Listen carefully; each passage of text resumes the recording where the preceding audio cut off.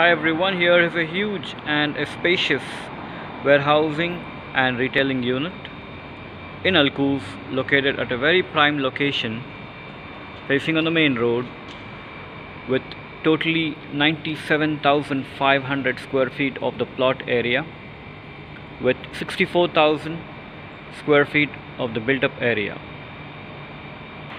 With total area built up with 10 warehouses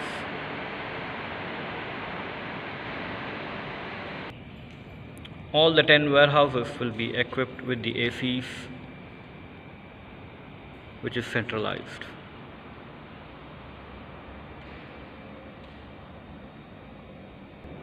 All the warehouses are fully equipped with all the civil defense requirements which include fire hose manual reels fire extinguishers smoke detectors fire alarm system etc the flooring is cemented and the ceiling is completely insulated.